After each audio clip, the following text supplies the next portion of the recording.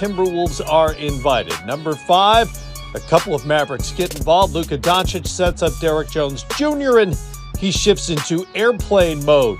Great patience by absolutely fly. Number four, also on the Mavericks side, Kyrie Irving up against the clock, no problem. As he sails through the air and shows off the touch just before the halftime buzzer. Naz Reid chasing down Josh Green after an incredible pass. Even better, Reid would hit a session. That takes us to number two.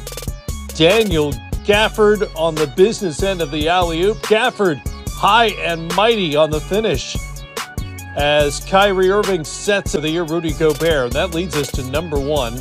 Speaking of flying in, Karl-Anthony Towns from out of nowhere